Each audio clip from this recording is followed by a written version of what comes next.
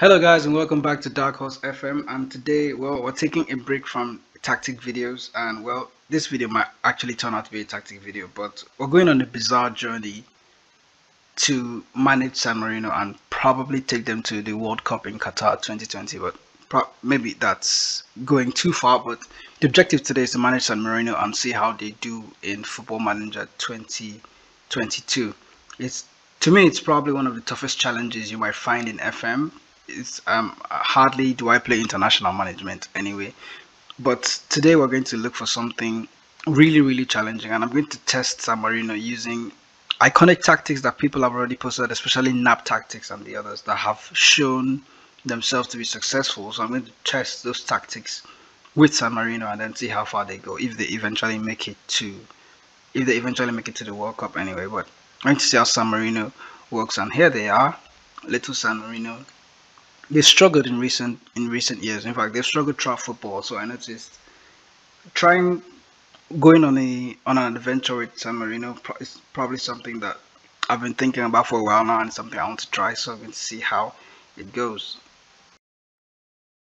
So guys, if you have no idea about San Marino, they are a footballing nation as well, but most teams have recorded their biggest victories in history against San Marino. So the squad are not all professional footballers per se. So I think most of them are, and few of them are just maybe farmers and doctors. They're good at other things besides playing football, but they enjoy their time when they are when they are facing professional nations, footballing nations from across the globe. So the biggest defeats that they face against all these other teams, like they recently lost to England 10-0 in the World Cup qualifiers, but they didn't seem phased by it in any way. They, it just looks like they enjoy playing football just for the fun of it, really. But to be honest, they are good at many other things as well. So this this journey that I'm going with San Marino is something that I've been thinking about for a while now. I want to actually see how well tactics work in this game, and then if most of what we play is probably if most of our victories are tactically influenced, let me say so. If a tactic that has been successful in the past in FM22 works out for San Marino, then we know just how good that tactic is. But the objective basically is to manage San Marino and see just how bad it is or just how difficult the challenge might be. We can see in this national team history that San Marino are the lowest ranked nation. They are the lowest ranked footballing nation in the. Oh no, they're not. Anguilla. Anguilla, there's another country worse than San Marino. Wow. Anyway, the lowest world ranking is 210, so that's San Marino, and then anybody beneath 210 is probably not considered a footballing nation.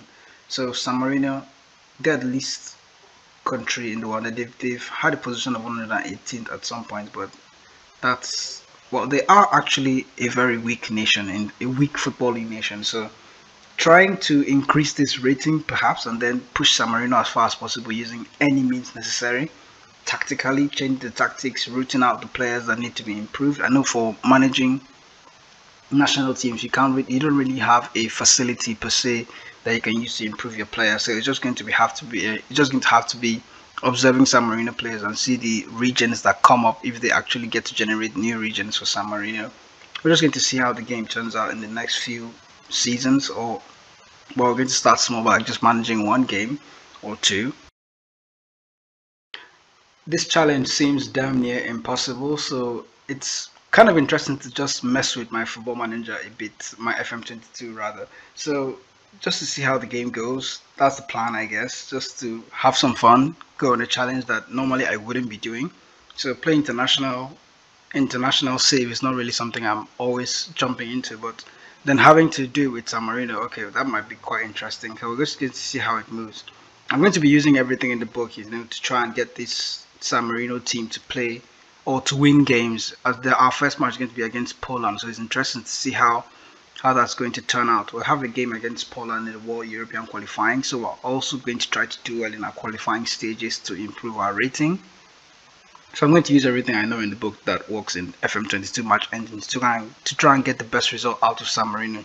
So that's going to include set piece routines match engine workarounds to see how far San Marino can go and with that being said let me know if that you can let me know in the comment section if there is any tactics that I can use to boost San Marino's chances of winning games if there are set piece routines that you have you can let me know in the comment section and then I'll check the link for these set pieces and download them.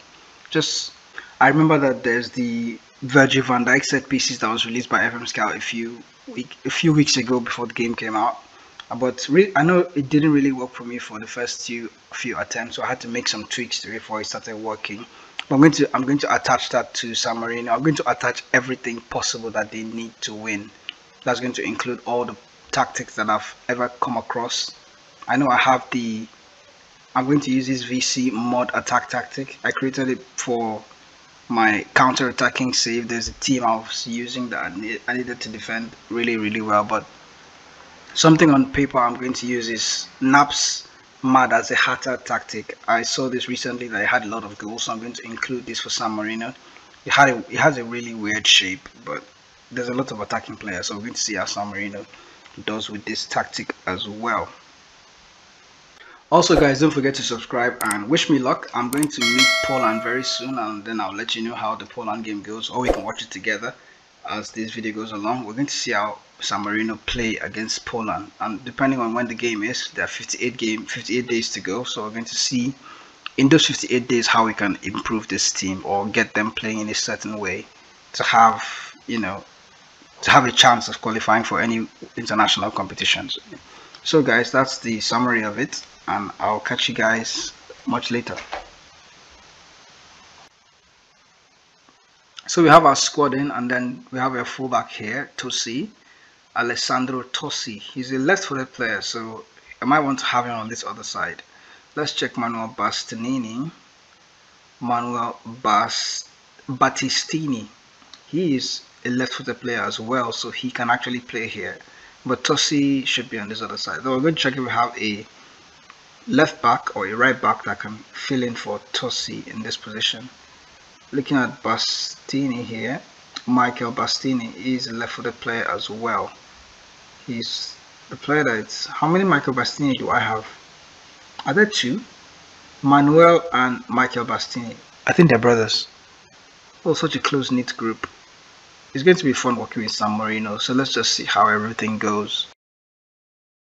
I think we're doing quite well. We're just keeping the ball in our space, trying to not give away too much to Poland. And this is, we're playing dangerous football in our backline. Oh, there is a chance. There is a chance, saved by Szczesny.